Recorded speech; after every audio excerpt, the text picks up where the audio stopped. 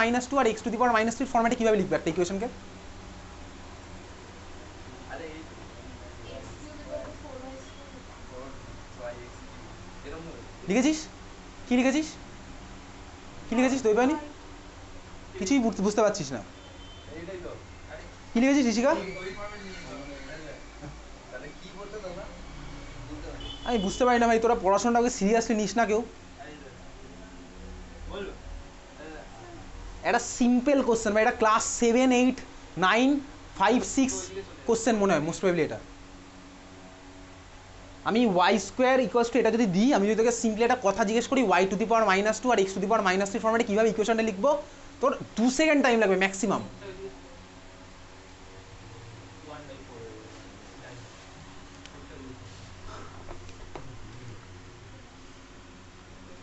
Y স্কোয়ারটাকে যদি আমি এদিকে নিয়ে আসি, তাহলে আমি কি লিখতে পারব?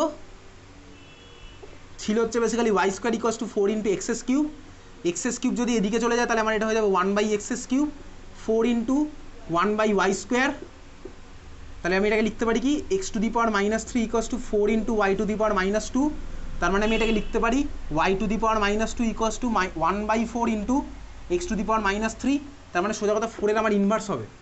তাহলে এটা আমার এখানে একটা ইনভার্স হবে। বোথ সাইডে যদি পাওয়ারে একটা করে মাইনাস ওয়ান অ্যাড হয়, তাহলে এটার সাথেও একটা মাইনাস ওয়ান অ্যাড হবে।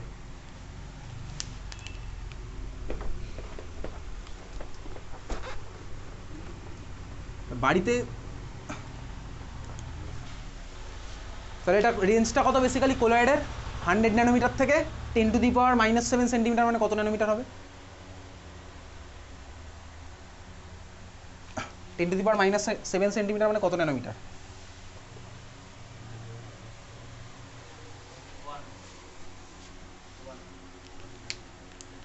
বাকিটা বুঝতে পারছিস না? না বুঝতে পারলে বাড়িকে মুখস্থ করবি। চল, এই ছিল হচ্ছে বেসিক্যালি আমার কোলয়েড পরেরটা হচ্ছে, তিন নাম্বার যে জিনিসটা হয়, তাহলে ট্রু সলিউশন হলো। দু নাম্বার আমার হচ্ছে হচ্ছে কোলয়েড আর আরেকটা যেটা হয়, সেটার সাইজ যদি আমার বেসিক্যালি এই রেঞ্জের মানে বড় বড় হতে থাকে greater than ten to the power five centimeter সোজা কথা, বা বইতে ten to the power minus four লেখা আছে, তাহলে তখন তাকে বলে হচ্ছে সাসপেনশন ঠিক আছে সাসপেনশন মানে কি? দ্রবণটা আমার বেসিক্যালি একটা ঘোলাটে টাইপের হয়ে থাকবে। ওটাকে বলে সাসপেনশন ওকে তো আমার তো বেসিক্যালি ডিসকাশন হবে হচ্ছে কোলয়েডটা নিয়ে। কোলয়েড নিয়ে আমি তো ডিসকাস করব। তাহলে চল কোলয়েড নিয়ে ডিসকাস করি। কোলয়েডের মধ্যে বেসিক্যালি দুখানা জিনিস থাকে। একটাকে বলে হচ্ছে কোলয়েড মানে তার মানে কি বলতো? কোলয়েড মানে এক্স্যাক্টলি আমি ওটাকে সলিউশন বলতে পারি না। ঠিক আছে? কোলয়েডের মধ্যে দুখানা জিনিস থাকে। একটাকে বলে হচ্ছে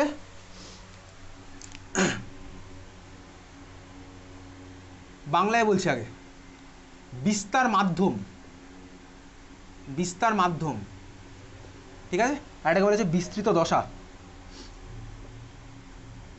মানে কি? যার মধ্যে কেউ ধর একটা আমি অ্যাড করছি, যার মধ্যে আমি অ্যাড করছি। ক্লিয়ার যেমন ধর, দুধে জল মেশাচ্ছি। জলটা বেশি থাকে না, দুধ বেশি থাকে? দুধটা বেশি থাকে বেসিক্যালি নর্মাল ধর, দুধে যদি জল মেশাই, দুধে জল মেশালাম, এটা দিয়ে আমার কি হয়? ক্লিয়ার ক্লিয়ার সলিউশন হয়? ক্লিয়ার সলিউশন হয় না এক্স্যাক্টলি ওটা একটা কোলাইডি টাইপের বেসিক্যালি তো বেসিক্যালি সাপোজ দুধে যদি আমি জল মেশাই, লিকুইডের মধ্যে লিকুইড মেশালাম, দুধটা হচ্ছে আমার বিস্তার মাধ্যম আর জলটা হচ্ছে আমার বিস্তৃত দশা। ইংলিশটা কি? বিস্তার মাধ্যমে হচ্ছে ডিসপার্সড মিডিয়াম বলে দিচ্ছি। ঠিক আছে? বিস্তার মাধ্যমটা হচ্ছে ডিসপার্সড ডিসপারশন মিডিয়াম আর বিস্তৃত দশা হচ্ছে তোর আমার ডিসপার্সড ফেজ ক্লিয়ার আচ্ছা যাকে আমি অ্যাড করছি সেটাকে বলব কি বিস্তৃত দশা। ওকে যার মাধ্যমে অ্যাড করছি সেটাকে বলব হচ্ছে আমি মিডিয়াম তাহলে আমি এখন পুরো কথা বলব না জাস্ট মাধ্যম আর দশা এইভাবেই চলবে। ঠিক আছে? আচ্ছা তুই বল, এটা যদি একটা কোলায়েড হয়, তাহলে বিস্তৃত দশার পার্টিকেলগুলোর সাইজটা যেন কত হবে? এইমাত্র তুই বার করলি। Ten to the power minus five centimeter থেকে ten to the power minus seven centimeter বোঝা গেছে? এবারে এই বিস্তৃত দশা আর বিস্তার মাধ্যম আলাদা আলাদা হলে কি হয়? কোলায়েডগুলোর একটা নাম থাকে, সেটার বেসিসে এদেরকে ক্লাসিফাই করা হয়। কী কী হতে পারে? চল এবার ডাইরেক্ট তুই বইয়ের মধ্যেই দেখ। আর দেখাচ্ছি না তোকে, এখানে বোর্ডে লিখে লিখে, কি বইয়ের লেখায় এখানে দেখাবো, কোনো মানে নেই। যেমন কি, ধর, বিস্তার মাধ্যম যদি লিকুইড হয়, তাহলে লিকুইডের মধ্যে আমি গ্যাসকে ডিজলভ করলাম। তখন ওটা একটা নাম থাকবে। ঠিক আছে? ধর, আমার বিস্তার মাধ্যমে সলিড বিস্তৃত দশা হচ্ছে সলিড বুঝতে পারছিস? তাহলে তখন ওটা একটা নাম থাকবে। ধর, বিস্তার মাধ্যম হচ্ছে আমার লিকুইড আর বিস্তৃত দশা হচ্ছে আমার সলিড তখন ওটার একটা আলাদা নাম থাকবে। এরকম ক্লাসিফিকেশন আছে, এদেরকে বলেছে সল জেল ইমালশন এরোসল এই জিনিসগুলো আমাকে তোকে পড়তে হবে। একটা করে এক্সাম্পল মাথায় রাখতে হবে। আর কোনটার মিডিয়াম কোনটা কি হয়? ঠিক আছে? চল, বইয়ের মধ্যে তুই মার্ক কর।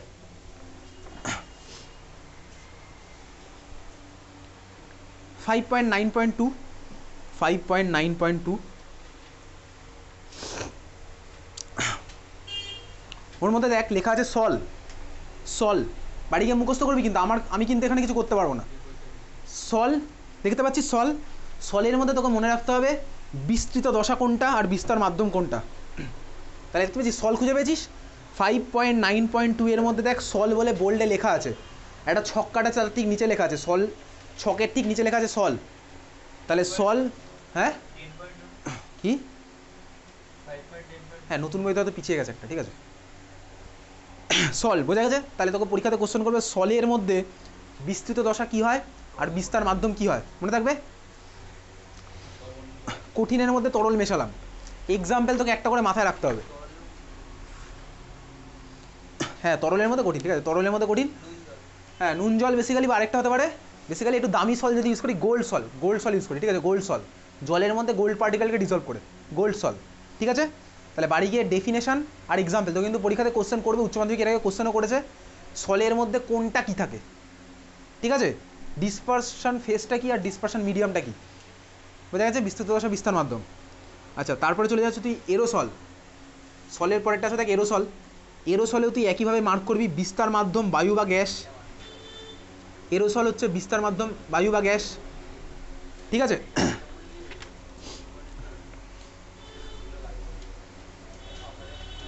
হয়ে গেছে? আচ্ছা এইবারে বুঝতেই পারছিস, দেখ তোকে যদি পরীক্ষাতে এগুলো সংজ্ঞা লিখতে দেয়, তুই সিম্পলি এটাই লিখতে পারিস, যে কোলয়েডের বিস্তৃত দশা এটা আর বিস্তার মাধ্যম এটা, তাকেই বলে হচ্ছে এটা। বোঝা গেল? এই সলি এই ডেফিনেশন তোকে মুখস্থ করার দরকার নেই। তোর তো প্রত্যেকটাতে ডিসপারশন ফেজ আর মিডিয়ামটা মনে রাখছিস না? বুঝতে পেরেছিস? চল তাহলে এরোসল মার্ক করেছিস এরোসলের কী মার্ক করলি? ডেফিনেশন এবারে দেখ, কঠিন এরোসল তরল এরোসল অত ডিটেলসে কোশ্চেন করে না সাধারণত। হয়ে গেছে, বোঝা গেছে? ক্লিয়ার হ্যাঁ হয় অবভিয়াসলি হয়। এখানে নিয়ে আর কী করব? ঠিক আছে? চল পরেরটা দেখ। জেল তারপরটা হচ্ছে জেল। এরোসলের পরে একটা জেল। দেখতে পাচ্ছিস জেল? জেলের এক্সাম্পল একটা একটা করে পড়বি কিন্তু সব কটার। এক্সাম্পল কিন্তু পড়তে হবে তোকে। ঠিক আছে? চল, তারপর চলে যায় ইমালশান। ইমালশান মার্ক করছিস ইমালশান? কোনটা কি হচ্ছে? মার্ক করলি? তারপর হচ্ছে ভাই ফোম। লাস্টেটা হচ্ছে ফোম। হয়ে আছে ফোম? আচ্ছা ফোমের মধ্যে কঠিন ফোম, তরল ফোম মার্ক কর। তরল ফোমের মধ্যে সাবানের ফেনা। এটা উচ্চ মাধ্যমিক একবার দেখেছি কোশ্চেনটা সাবানের ফেনা। তোকে জিজ্ঞেস করে, সাবানের ফেনার মধ্যে বিস্তার মাধ্যম কি? আর বিস্তৃত দশা কি? ঠিক আছে? পেয়েছিস তো খুঁজে? তরল ফোম পেয়েছিস খুঁজে? ফোমের মধ্যে একটা উদাহরণ, তরল ফোম। তরল ফোমের মধ্যে সাবানের ফেনা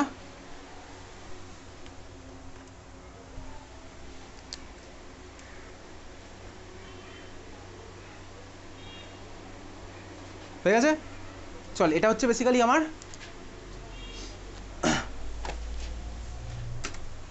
কোলাইড বুঝলি? আচ্ছা কোলাইডের মধ্যে আরও পার্ট আছে বা একটু দেখতে থাকে দিকে এত দি ক্লিয়ার নেক্সট দুখানা টাইপের কোলয়েড কি? একটা টাইপের কোলয়েডে ধর, আমি এই যে বিস্তৃত দশাটা যাকে অ্যাড করছি আর যার মধ্যে অ্যাড করছি। যাকে অ্যাড করছি আর যার মধ্যে অ্যাড করছি। ধর, এদের মধ্যে যদি খুব ভালোবাসার গল্প থাকে মানে ধর কি, এদের মধ্যে অ্যাট্রাকশন আছে বেসিক্যালি তাহলে ওটাকে কী বলে বলতো? ওটাকে বলে হচ্ছে দ্রাবক আকর্ষী কোলয়েড, বুঝলি? বোঝা গেছে? বোঝা গেল? কি বুঝলি বলতো? দ্রাবক আকর্ষী কোলয়েড। দ্রাবক মানে কি বেসিক্যালি সলভেন্ট ঠিক আছে? সলভেন্ট মানে ধর যাকে অ্যাড করছি তার যদি এর প্রতি ভালোবাসা থাকে ভালোবাসা আছে বলে আকর্ষণ আছে। এটাকে বলে দ্রাবক আকর্ষী কোলয়েড। ক্লিয়ার বুঝলি? এইবারে, এত অব্দি ক্লিয়ার তো? আর যদি ভালোবাসা না থাকে তাহলে কী বলে বলতো? দ্রাবক বিকর্ষী কোলয়েড। ওকে? ঠিক আছে? আচ্ছা এদের ইংলিশটা হচ্ছে লায়োফিলিক আর লায়োফোবিক বলছি। পরীক্ষাতে কি কোশ্চেন আসে এখান থেকে? কোথায় গেল ভাই? বইয়ের মধ্যে।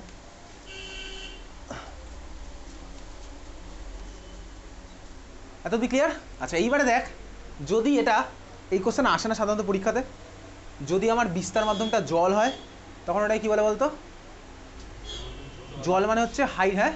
হ্যাঁ জল আকর্ষী বেসিক্যালি জল আকর্ষী ওটার ইংলিশটা হচ্ছে হাইড্রোফিলিক ঠিক আছে? আর ধর, যদি আমার বিস্তার মাধ্যম জল হয়, কিন্তু তার ভালোবাসে না। মানে জল থেকে দূরে চলে যেতে দূরে চলে যাওয়া মানে কি বলতো? বেসিক্যালি ভয়। কেমিস্ট্রি বলতে তোর মাথায় সবার ফার্স্টে কী আসে বলতো? ভয়। তাই না? হ্যাঁ ফোবিয়া এক্স্যাক্টলি তার মানে যে ভালোবাসে না, সেটা হচ্ছে বেসিক্যালি ফোবিক তাহলে এটাকে কি বলে? যখন যদি জল থাকে, আর যদি ভালোবাসার গল্প না থাকে, বিকর্ষণের গল্প থাকে, সেটাকে বলে হচ্ছে হাইড্রোফোবিক বোঝা গেল? হাইড্রোফিলিক আর হাইড্রোফোবিক ঠিক আছে?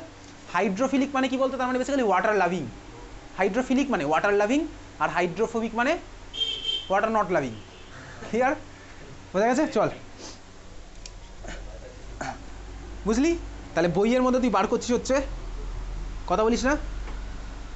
ওই ইমালশান জেল ফেল যেখানে মার্ক করেছিলি তারপরেই দেখ আছে হচ্ছে দ্রাবক আকর্ষী কোলয়েড দ্রাবক বিকর্ষী কোলয়েড ডেফিনেশন পড়বি উদাহরণ পড়লি। মার্ক করেছিস? হ্যাঁ? দ্রাবক আকর্ষী কোলয়েড আর দ্রাবক বিকর্ষী কোলয়েড। মার্ক করেছিস ডেফিনেশন উদাহরণ মার্ক করেছিস? উদাহরণ প্রত্যেকটা মার্ক করবি। দ্রাবক আকর্ষীর প্রতিটার উদাহরণ। গাম স্টার্চ জিলেটিন প্রোটিন প্রত্যেকটা, ঠিক আছে?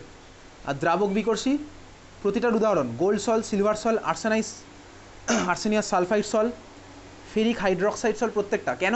তার কারণ তোকে পরীক্ষা দেওয়ার সল দিয়ে জিজ্ঞেস করবে, এটা দ্রাবক আকর্ষী না দ্রাবক বিকর্ষী? কষ্ট কিন্তু আছে ভাই। কষ্ট না করলে কিন্তু কেষ্ট মিলবে না। আর একটা কথা বলছি, উচ্চ মাধ্যমিক পরীক্ষার পরে সিনারিও কী হয় শোন।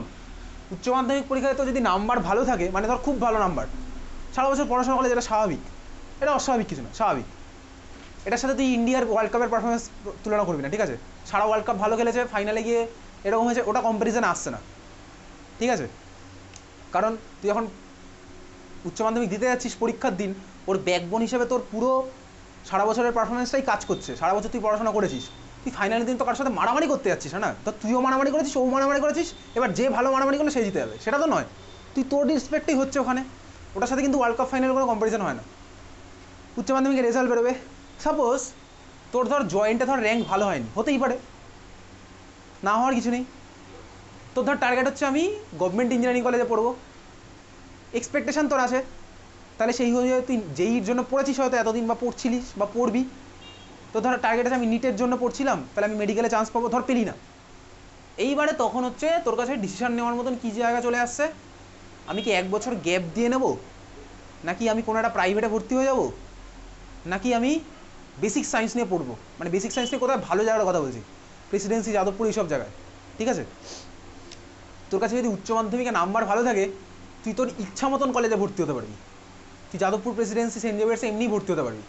আর তোর যদি নাম্বার ভালো না থাকে, তখন কিন্তু তোর কাছে ওই কলেজের তোর অপশান মতন কলেজ পাওয়ার আশা কমে যাবে।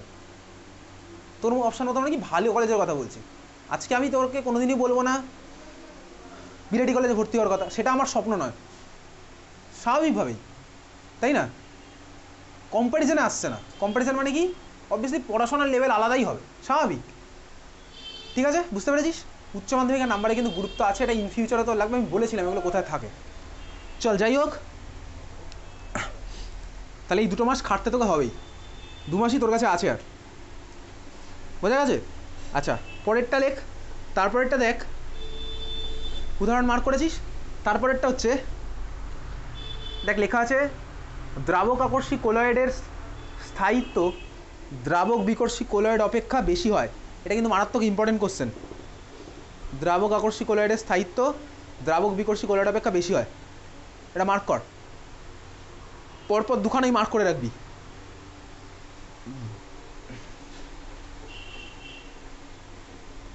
একটা হচ্ছে রিভার্সেবল ইরিভার্সেবল যেখানে ভালোবাসা বেশি, সেটা আমার কী হয় বলতে ইরিভার্সেবল না রিভার্সেবল তোর কী মনে হয়? মানে ধর, না না। ধর যেখানে ভালোবাসা আমার বেশি আছে, ঠিক আছে? সেখানে ভালোবাসা তার বেশি। তুই যদি সেটাকে মানে দূরেও সরিয়ে দিস আবার, ভেঙে দিলি ধর এদের দুজনকে তুই অ্যাড করেছিলি, ভালোবাসা ভালো ছিল। এবার ধর তুই কোনোভাবে ধর এদেরকে আবার সরিয়ে দিছিস, দূরে দূরে সরিয়ে দিছিস। তুই ভাব ইন ফিউচারে আবার যদি এদের কাছাকাছি আসার অপশান থাকে, আসবে না আসবে না। আসবে স্বাভাবিকভাবে, কারণ ভালোবাসাদের বেশি ছিল। এটা মানুষের ভালোবাসার সাথে কম্প্যারিজন হচ্ছে না। কম্পাউন্ডের হচ্ছে কেমিক্যাল ভালোবাসা এখানে, ঠিক আছে? ঠিক আছে? তার মানে কি বলতো? ভালোবাসা যখন ছিল, পরেও থাকবে। বুঝলি? ঠিক আছে? তার মানে দ্রাবক আকর্ষী কোলয়েড হচ্ছে আমার রিভার্সেবল টাইপের এই কোশ্চেন কিন্তু উচ্চ মাধ্যমিকে আসে। যেটা থেকে এখানে লেখা আছে, দ্রাবক আকর্ষী কোলয়েড হচ্ছে পরাবর্ত প্রকৃতির। রিভার্সেবল মানে পরাবর্ত। আর ইরিভার্সেবল মানে অপরাবর্ত। হ্যাঁ?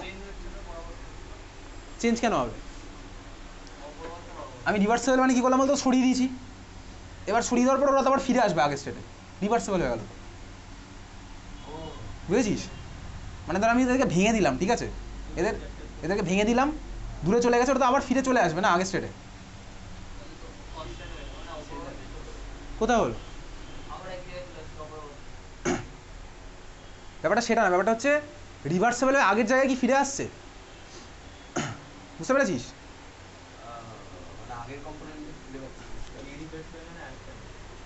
ইরিভার্সেবল মানে ফিরে আসছে না আগের জায়গায়।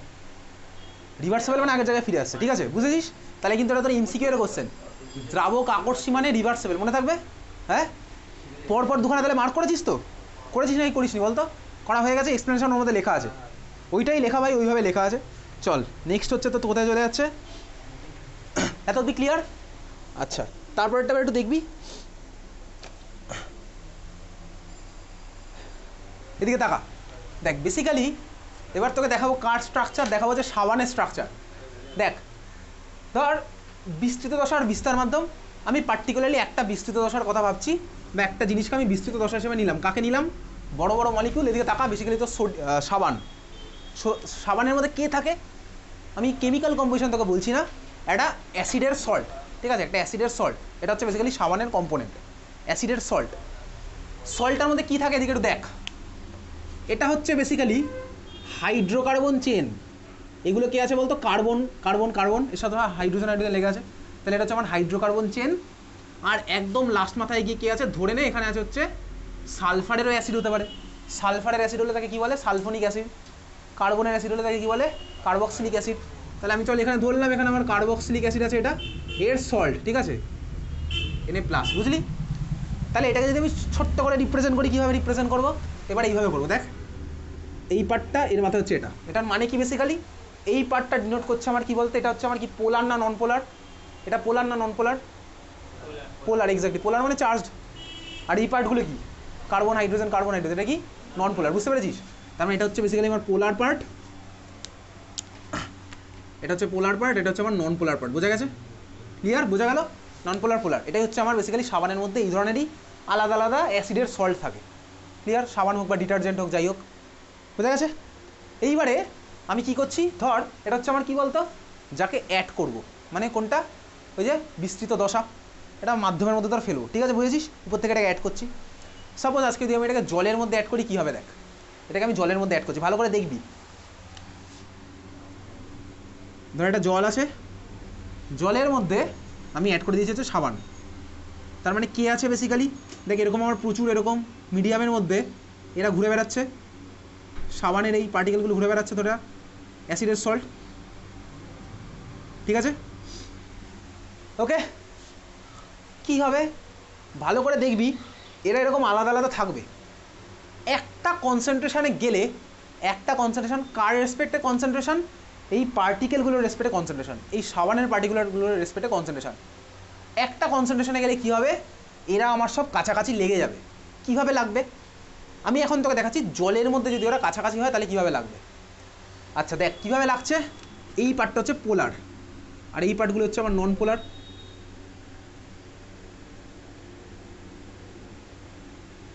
এই পার্টগুলো হচ্ছে আমার পোলার।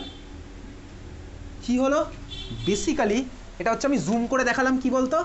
একটা সার্টেন কনসেন্ট্রেশন রিচ করার পর। কার কনসেন্ট্রেশন এই পার্টিকেলগুলোর কনসেন্ট্রেশন রিচ করার পরে। কি হবে? এরা বেসিক্যালি এক জায়গায় জোট বেঁধে যাবে। এইবারে প্রশ্ন হচ্ছে আমি যখন এইভাবে জোট বাঁধলাম এটার যে ছবি হবে আর আমি যদি এটাকে এইভাবে জোট বাঁধি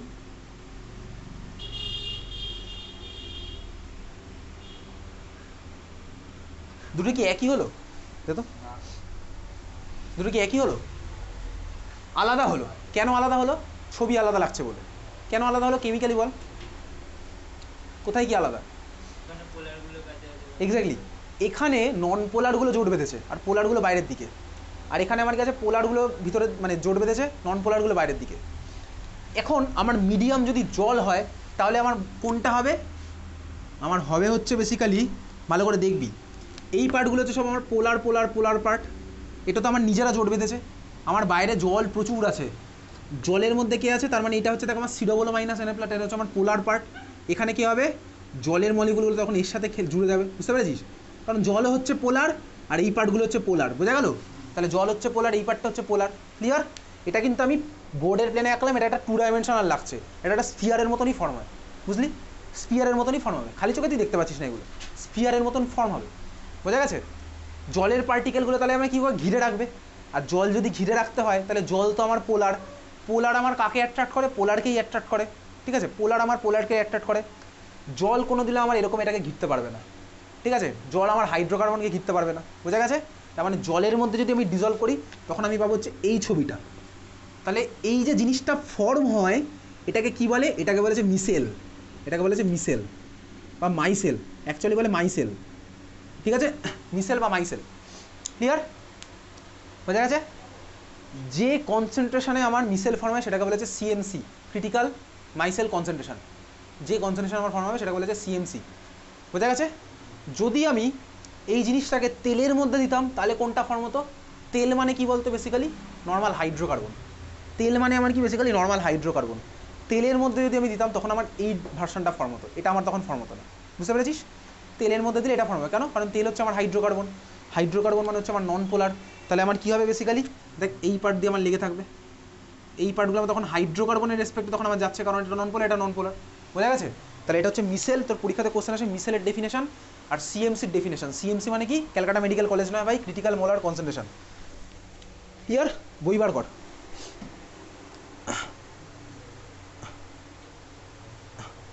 বইয়ের মধ্যে চলে যাওয়া হচ্ছে। ওই দ্রাবক আকর্ষী, দ্রাবক বিকর্ষী হয়ে গেছে। তারপরে একটা পার্থক্য লেখা আছে। ঠিক আছে? পার্থক্যর পরে চলে যায় বিস্তৃত দশার প্রকৃতি। আচ্ছা বিস্তৃত দশার প্রকৃতির মধ্যে তিন নাম্বারটা চলে যা, সংযোজিত কোলয়েড সংযোজিত কোলয়েডের উদাহরণের মধ্যে চলে যা। উদাহরণের মধ্যে ছবিটা দেখতে পাচ্ছিস তো? চাকা মার্কা ছবি এই যে এটা যেটা এঁকেছিলাম। ঠিক আছে? এবার দেখ ছবিটার মধ্যে মার্ক করবি। কি মার্ক করবি? সোডিয়াম স্টিয়ারেট ব্যাকেটে সাবান ফর্মুলা লেখা আছে। তাহলে তোকে কিন্তু সোডিয়াম স্টিয়ারেট মানে হচ্ছে সাবান উইথ ফর্মুলা মনে রাখতে হচ্ছে। হয়ে গেছে? আচ্ছা। পেয়ে গেছিস খুঁজে? ছবির পাশাপাশি উদাহরণ আছে। সোডিয়াম স্টিয়ারেট সাবান। সাবানের ফর্মুলা কি? তাহলে বাড়ি মুখস্থ করে ফেলছি C seven H thirty five C double minus N plus ঠিক আছে আচ্ছা। তারপরে দেখ। না না, আলাদা আলাদা হবে অবভিয়াসলি সালফোনেরও দিতে পারি। আলাদা আলাদা হবে। এটা জাস্ট একটা এক্সাম্পল তারপরে চলে যাবি হচ্ছে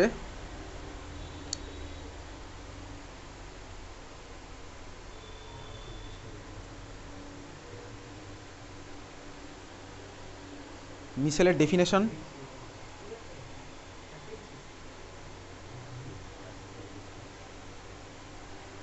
আচ্ছা তারপরে দেখ লেখা আছে মিসেলের ডেফিনেশন দেখতে পাচ্ছিস? লেখা আছে? আচ্ছা কোথা থেকে স্টার্ট করবি? স্টার্ট করবি হচ্ছে, দেখ একটি নির্দিষ্ট গাঢ়ত্বের উপরে হাইড্রোকার্বন শৃঙ্খলযুক্ত আয়নগুলি জোটবদ্ধ হয়ে গোলকের আকার ধারণ করে এবং কোলয়েড কণার আকার প্রাপ্ত হয়। জোটবদ্ধ আয়নগুলির এই সমবায়কে মিসেল বলে। পরীক্ষাতে কোশ্চেন করে মিসেল কি? পাওয়া গেছে খুঁজে? আচ্ছা এইবারে দেখ মিসেলের পরে একটা জিনিস লেখা আছে, লাইনটা, কি লেখা আছে? মার্ক করিস না, গোলকাকার মিসেলের কেন্দ্রের দিকে থাকে হাইড্রোকার্বন অংশ এবং পৃষ্ঠতলের অভিমুখে থাকে আয়নীয় বা ধ্রুবীয় অংশ। এটা ইনকমপ্লিট ইনফরমেশন এটা জলে দিলে এটা থাকবে। বুঝতে পেরেছিস? ওখানে কিন্তু কারণ এটা জলেই দেওয়া আছে, তার কারণ তুই একটু যদি আগে যাবিস, দেখবি এটা লেখা আছে জলীয় দ্রবণে। জলীয় দ্রবণে এটা লেখা আছে আগে, ওই জন্য আর আলাদা করে এখানে বলেনি। তেলে দিলে কিন্তু আমার এই ছবিটা হবে। বুঝেছিস? ক্লিয়ার চল, তারপরে দেখ, পরেরটা লেখা আছে হচ্ছে সিএমসি দেখতে পাচ্ছি সংকট, মিশেলীকরণ, গারত্ব। হ্যাঁ? সিএমসির ডেফিনেশন সিএমসির ডেফিনেশন হয়ে গেছে? তারপর হচ্ছে ক্র্যাফট উষ্ণতা। ক্র্যাফট টেম্পারেচার হয়েছে? বোঝা গেল? আচ্ছা তারপরে চলে যাওয়া হচ্ছে five point nine point four বা জাস্ট একটা পেজ ওল্টা সামনের দিকে এগিয়ে যা আর কি? পৃষ্ঠতল সক্রিয় পদার্থ। এই ডেফিনেশন তুই বাড়ি গিয়ে পড়বি, এগুলো আসে কিন্তু পরীক্ষাতে। পৃষ্ঠতল সক্রিয় পদার্থ, পেয়েছিস?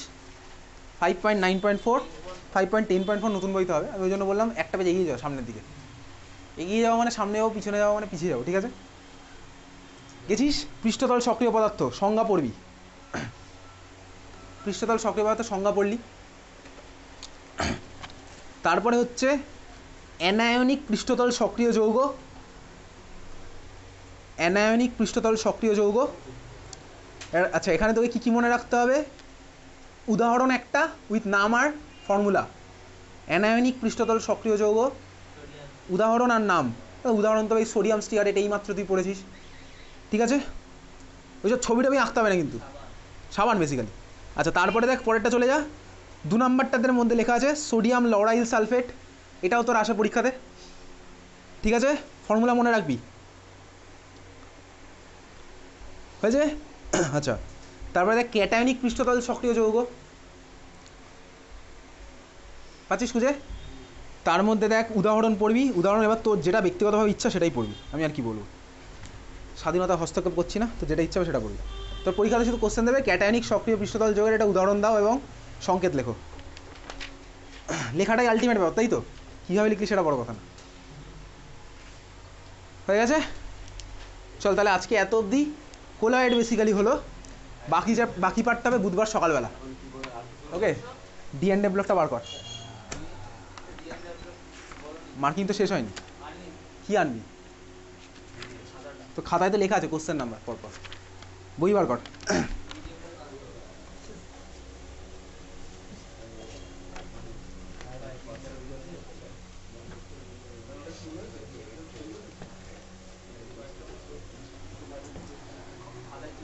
আচ্ছা ছেড়ে দে। আজকে এত অবধি দেখা হচ্ছে বুধবার সকালে।